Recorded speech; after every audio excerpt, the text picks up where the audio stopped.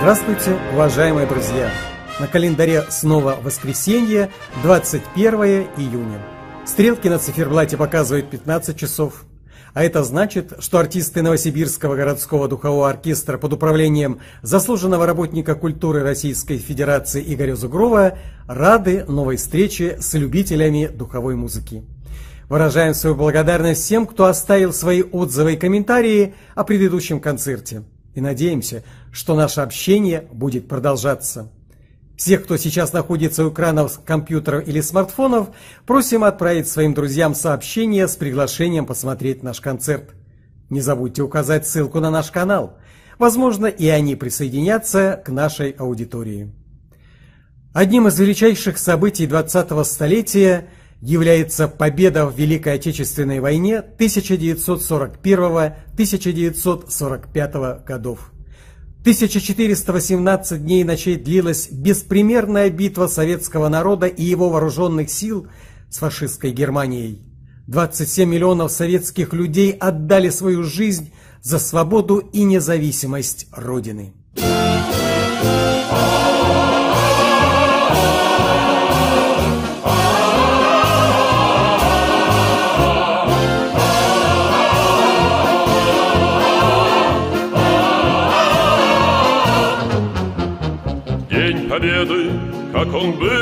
Далек, как в костре потухшем таял уголек. Были версты, обгорелые в пыли, этот день мы приближали, как могли. Это день победы!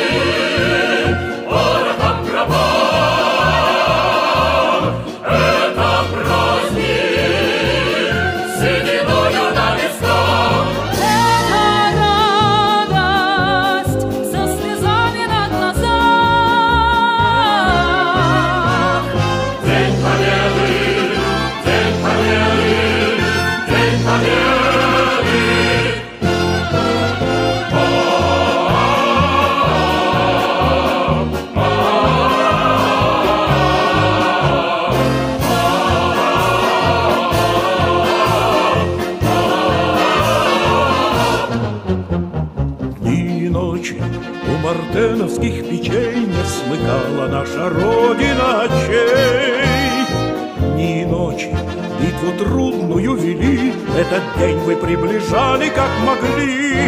Это день победы,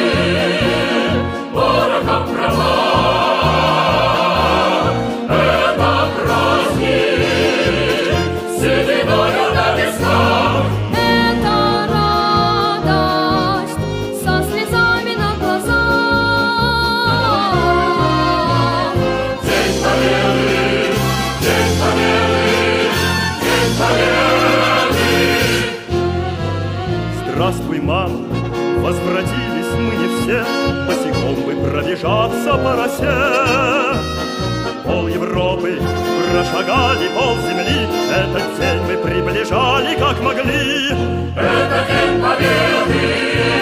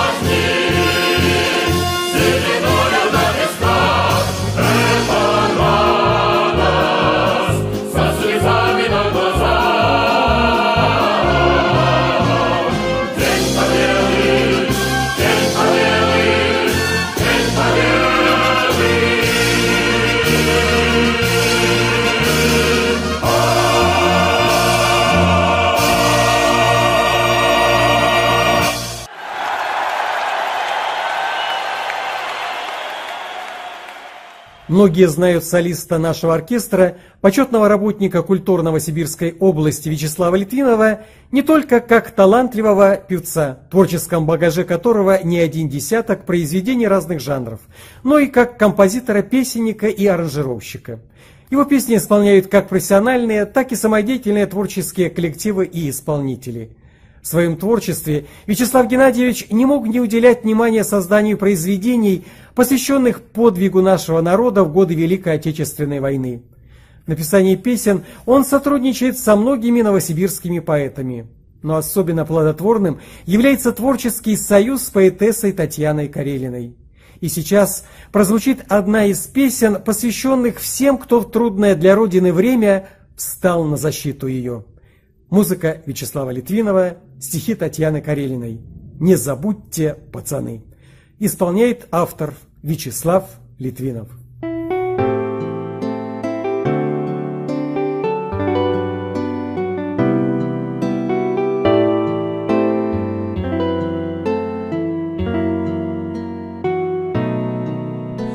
Месяц май распускает березовый лист,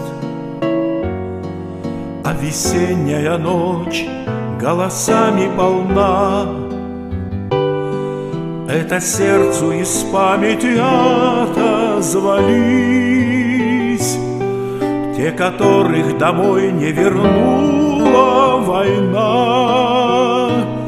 Слышу голос Ивана, братишка, привет Мне сегодня везет, хоть тебя отыскал Изменился ты, правда, прошло столько лет. Ты про наших ребят ничего не слыхал. Память совести на бат Стань преградой для войны. Мы уйдем, а вы солдат Не забудьте, пацаны. В сорок первом под Брестом в неравном бою Одноклассники все полегли, а поздней В Ленинграде Сашок угодил в полынью А в гестапо погибли Борис и Андрей В танке заживо Колька сгорел под Москвой. Юрку вместе с тобой схоронил Сталинград. Ну, короче, один я вернулся домой. А война до сих пор кость наших ребят. Память совести на бат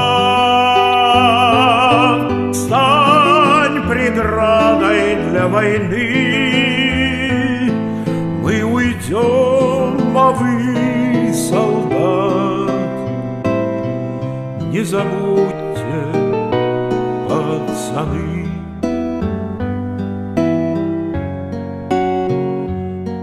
Не просохла земля и сегодня от слез. Даже пепел пожарища еще не остыл. Шквал безумия тысячи жизней унес Но ведь жизни он все-таки не победил А душа уже снова за внуков больна Жаль, что именно так средь людей повелось, Но всегда, как бы не бесновалась война. Побеждает любовь, побеждает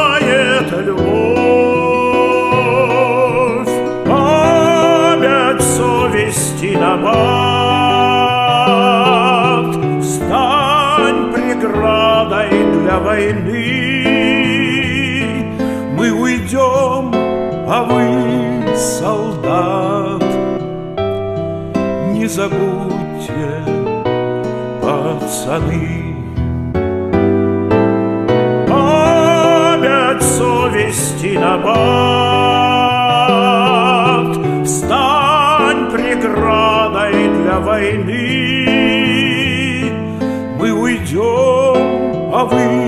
Солдат. Не забудьте, пацаны. Не забудьте,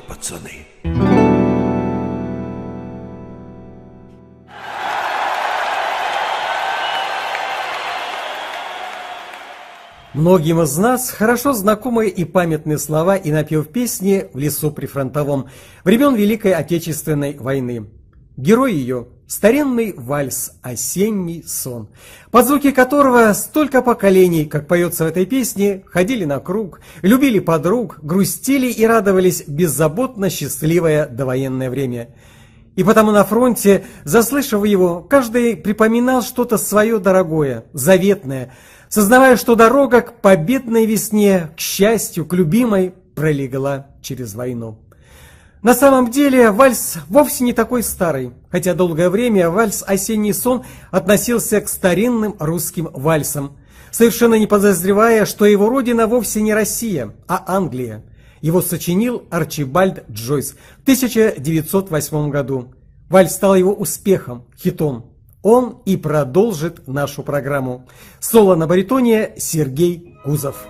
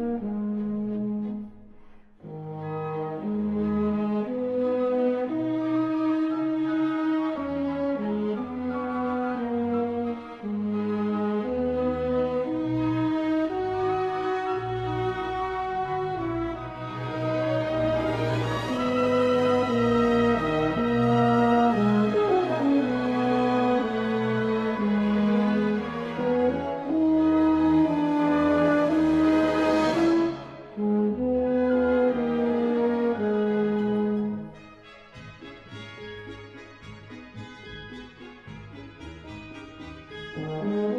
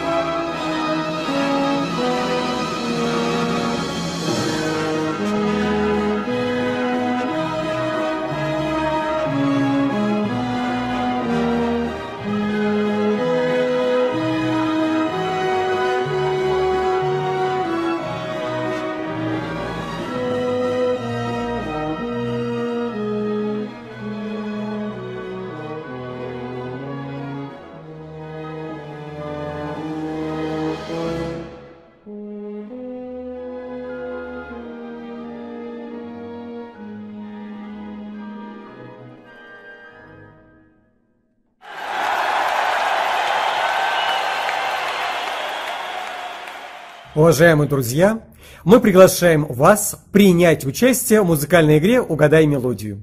Сегодня вам предстоит вспомнить марш, который сочетает в себе живительную веру в будущую победу и осознание горечи неминуемых потерь от грядущих сражений. Сейчас Сергей Кузов на баритоне исполнит фрагмент мелодии этого марша.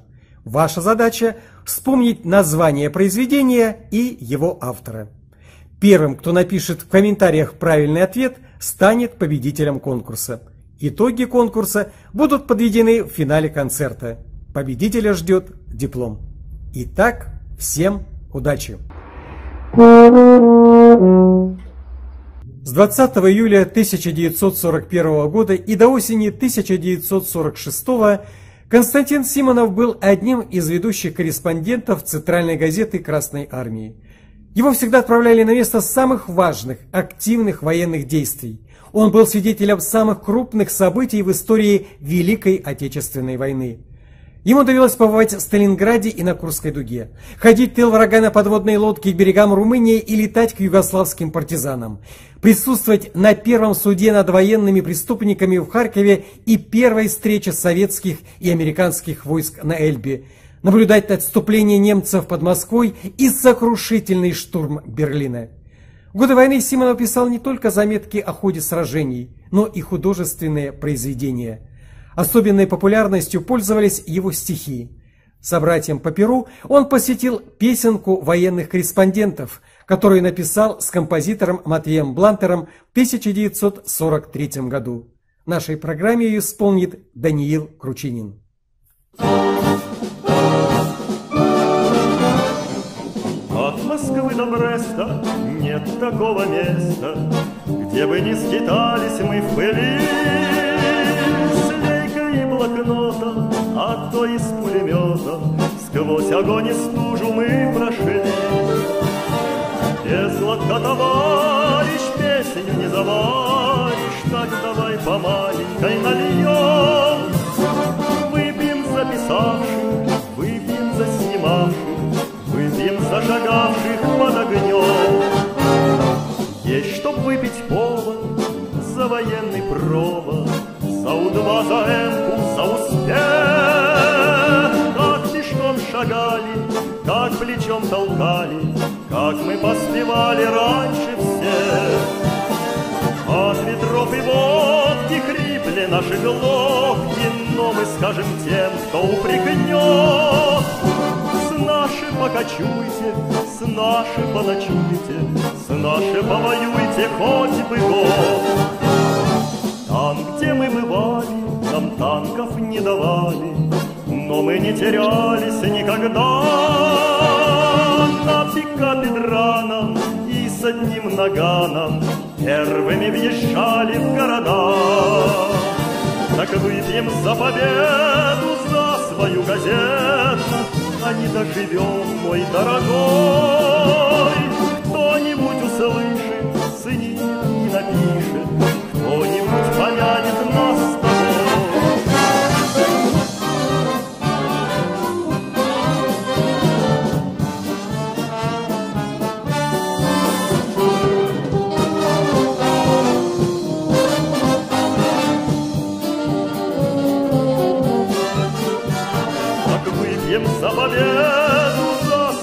Газету, а не доживем, мой дорогой. Кто-нибудь услышит, ценит и напишет, кто-нибудь помянет нас с тобой.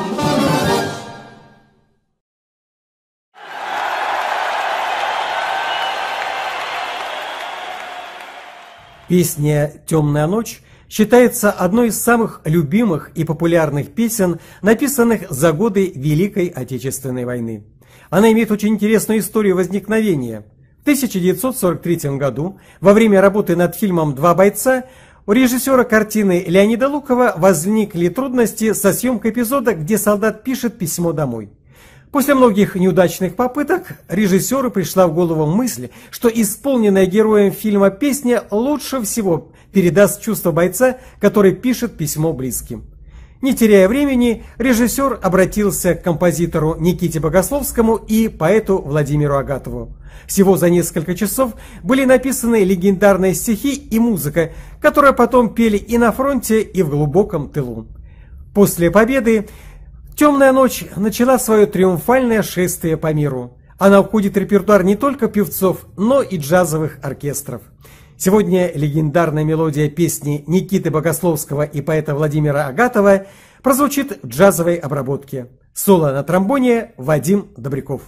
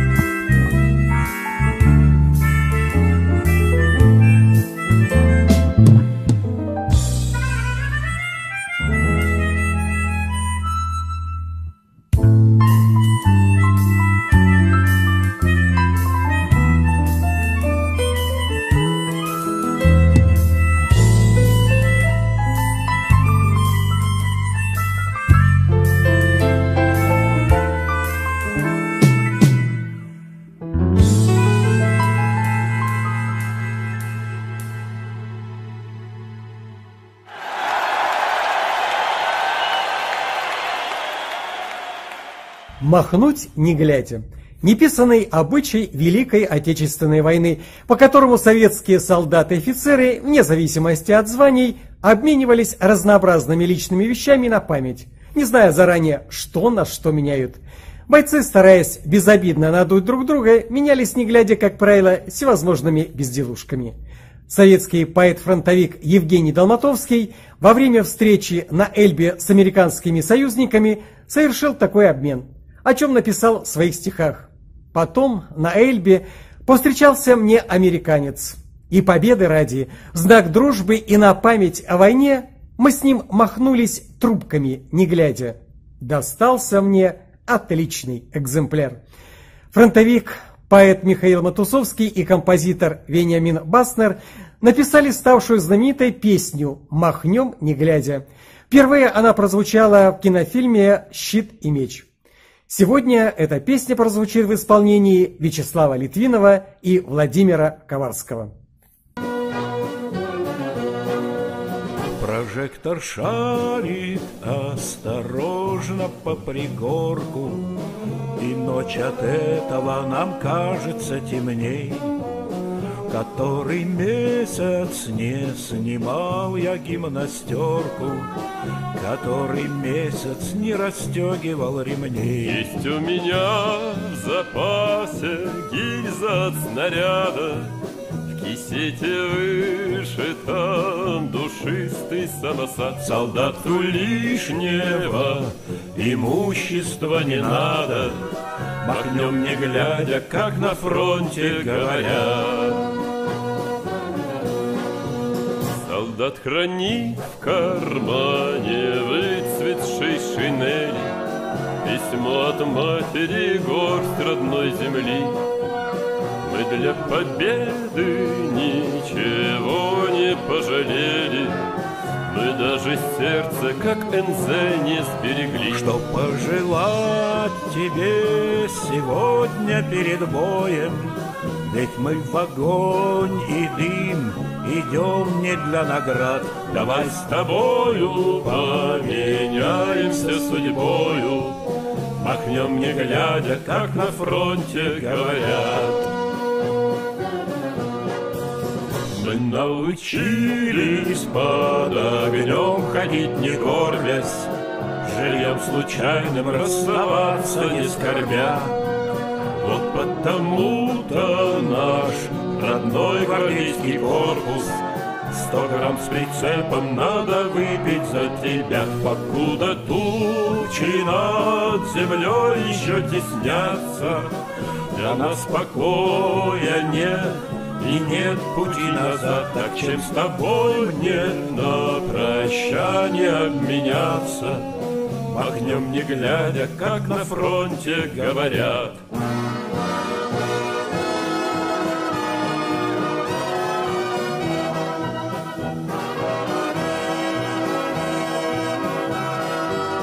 Так чем с тобой мне на прощание обменяться?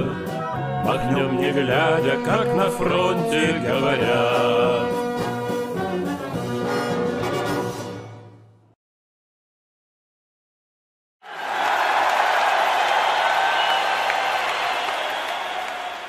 Знаменитую музыку к фильму «Свой среди чужих, чужой среди своих» написал Эдуард Артемьев, композитор почти всех фильмов Никиты Михалкова. Перед съемками они встретились в Доме кино, и режиссер долго описывал свой сценарий фильма и музыку, которая должна была звучать как мелодия воспоминаний.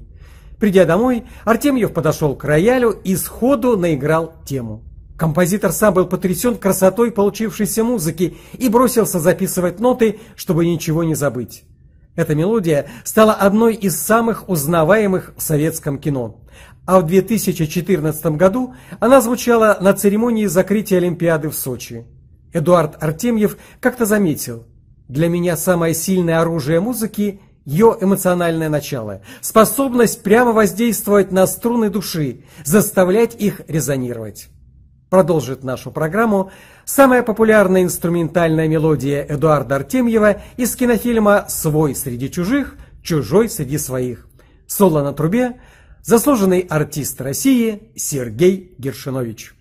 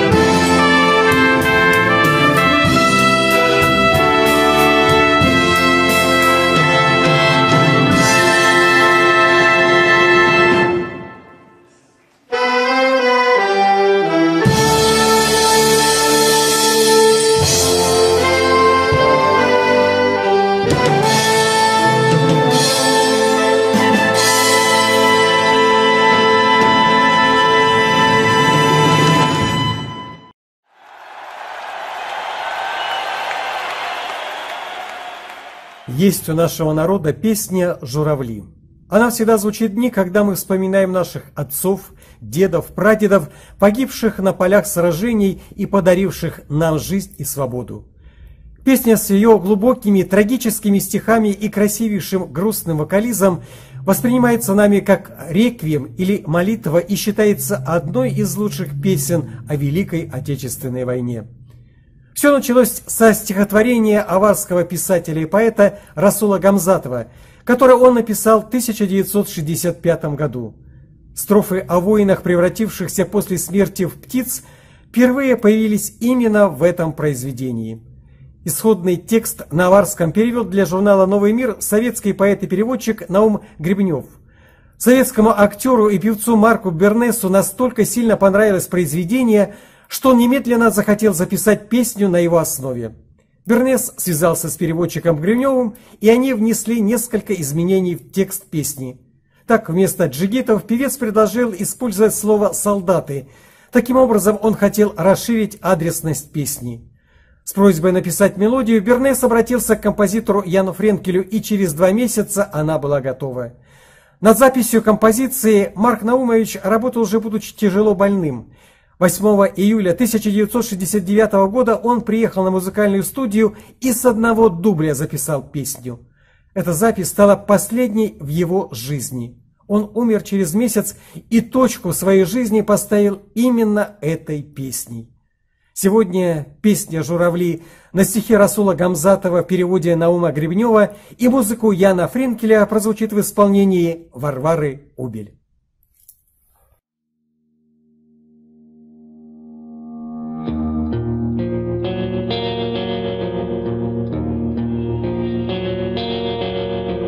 мне кажется.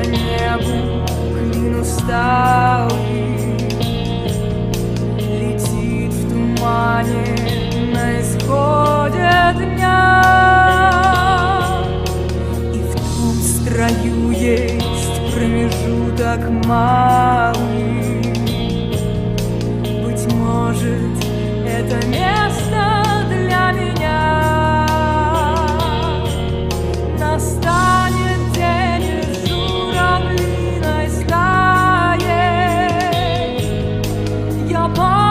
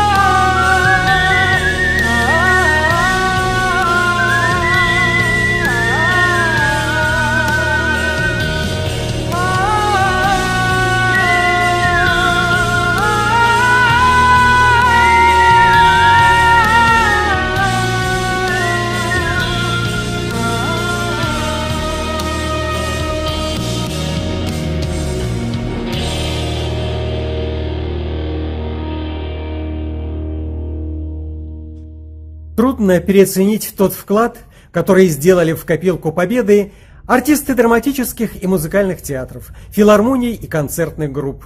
За годы военного лихолетия они провели для советских воинов 1 миллион 350 тысяч спектаклей, концертов, творческих встреч. Не было ни одной части, где бы не побывали фронтовые театры и концертные бригады. Вместе с Красной Армией артисты прошли весь путь войны. Они приносили людям, идущим рядом со смертью, радость и веру в победу. В программе были не только песни, которые родились в годы войны, но и мелодии, которые были всем хорошо знакомы и дороги еще в довоенное время. И среди них популярная танго конца 30-х годов «Утомленное солнце» композитора Ежи Петербургского. Мелодия этого прекрасного танго и продолжит наш концерт. Соло на кларнете Игорь Балаболка.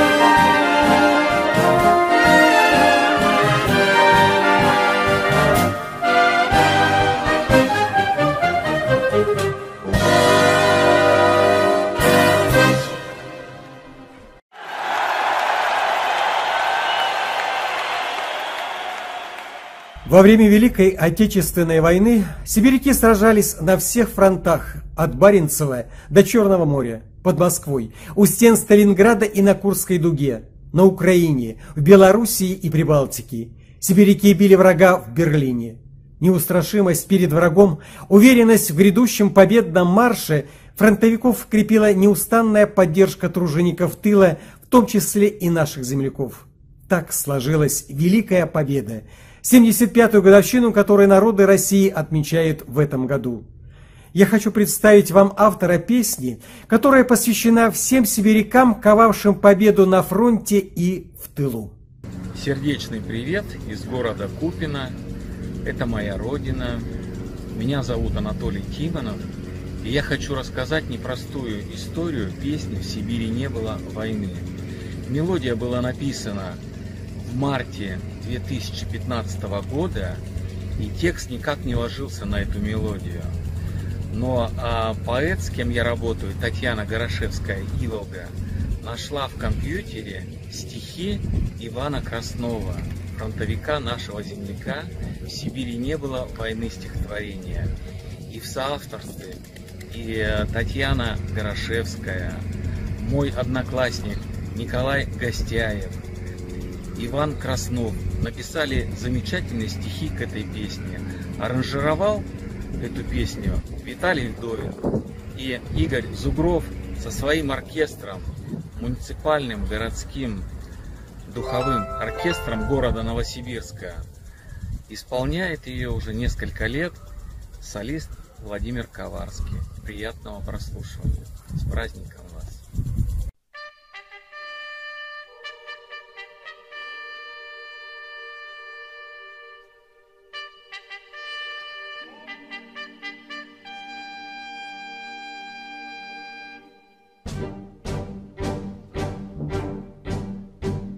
Пришла беда в час полусонный, Без объявления войны.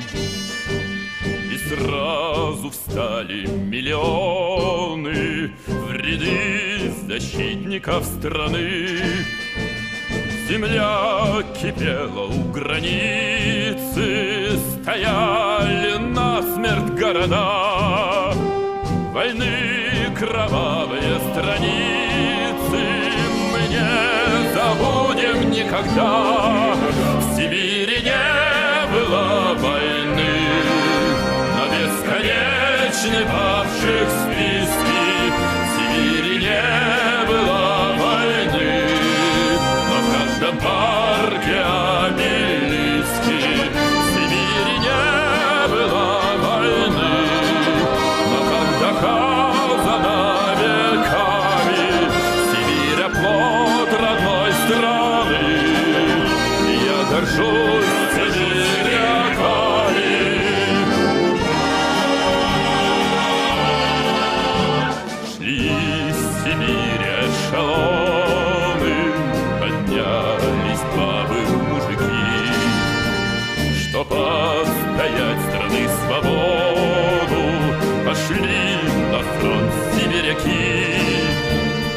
Они бесстрашно воевали Жизнь не щадя в огне атак. И как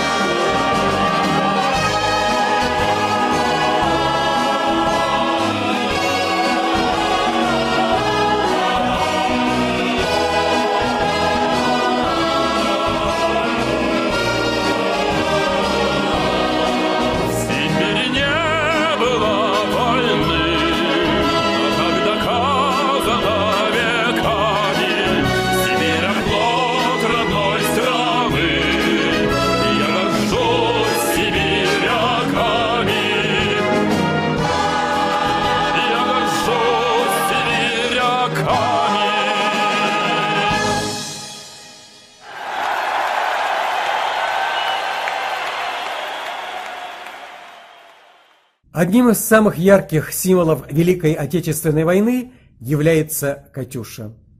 В тяжелые дни она помогала выжить, поднимая боевой дух, укрепляя в бойцах веру в неизбежную победу. Она была написана в 1938 году поэтом Михаилом Исаковским и композитором Матвеем Блантером. Легкая и запоминающаяся мелодия быстро стала популярной и ушла в народ. Миллионы людей воспринимали героиню песни как реальную девушку, которая любит бойца и ждет ответа. Во время войны появилось множество вариантов этой песни. Катюша была и бойцом, и партизанкой, и медсестрой, и верной женой. Именем Катюша бойцы нарекли грозную реактивную установку БН-13, которая наводила ужас на гитлеровские войска. Как-то во время боев под Керчью наши бойцы услышали звуки Катюши из немецких окопов. Фашисты крутили на патефоне пластинку. Один раз, другой, третий. Разозлились наши воины, и группа солдат бросилась в атаку. Завязалась схватка. Немцы не успели опомниться, как наша «Катюша» и их патефон оказались в наших окопах. Простой, казалось бы, незатейливой песенке удалось покорить жителей самых разных уголков мира. Она была известна в рядах французского сопротивления и среди партизан Италии. После войны своя «Катюша» появилась в Израиле, США, Японии и даже в Китае. После военной жизни песня стала одним из символов СССР и России, визитной карточкой страны. В нашей программе всемирно известная мелодия песни «Катюша» прозвучит в современной обработке. Соло на саксофоне Максим Мухратов.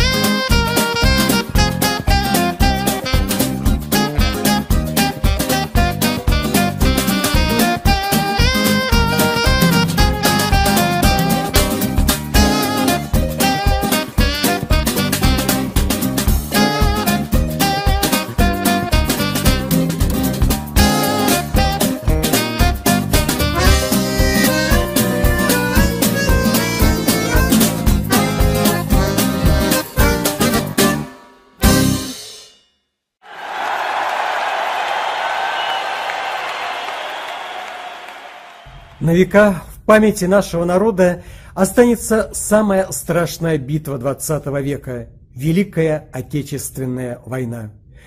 В годы огненного лихолетия народ России дружной семьей встал на битву с врагом, который хотел уничтожить нашу Россию и наш русский народ. Когда в 1942 году американский посол Гарриман в разговоре со Сталином восхитился храбростью русского народа, Сталин ответил – Думаете, они сражаются за нас? Нет. Они воюют за свою матушку Россию. Да, солдаты воевали за свой край, где родились, где жили, где их дом. Они воевали за Россию, которую испокон веков называют родниковым краем, ромашковой Русью. Они отстаивали Россию, воспетую в поэзии и прозе, в живописи и, конечно же, в песне – в исполнении Татьяны Костиной и Вячеслава Литвинова прозвучит песня Павла Айданицкого и поэта Игоря Шаферана «Красно солнышко».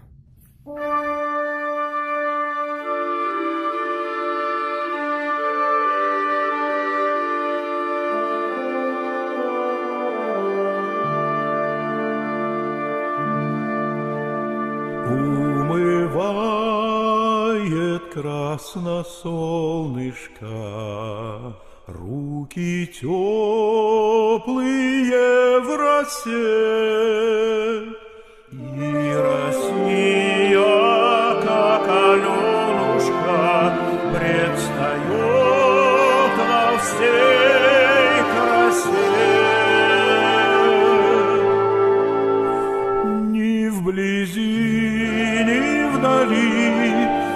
не знаю земли Лучше той, что меня растила.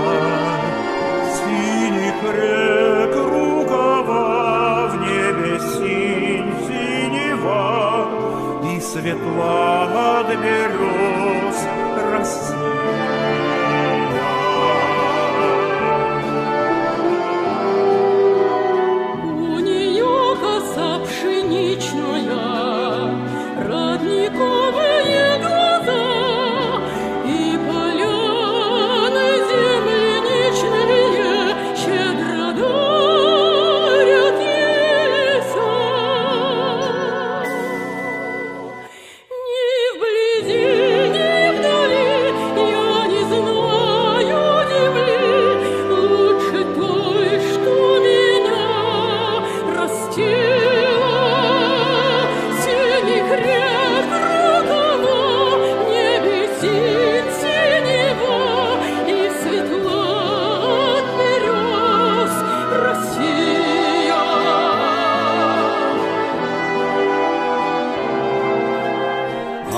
случись дорога длинная, Загрущу в чужом краю,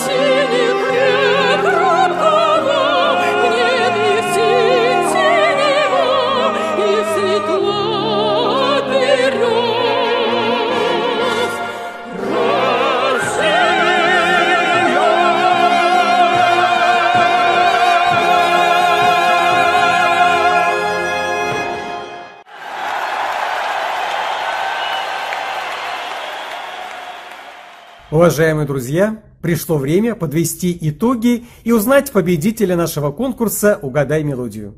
Правильный ответ звучит так. Марш «Прощание славянки» написал композитор, военный капельмейстер Василий Иванович Агапкин в 1912 году.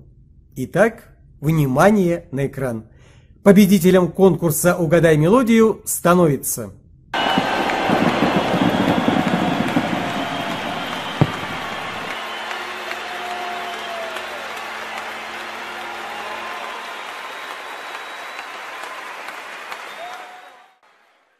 Мы поздравляем победителя.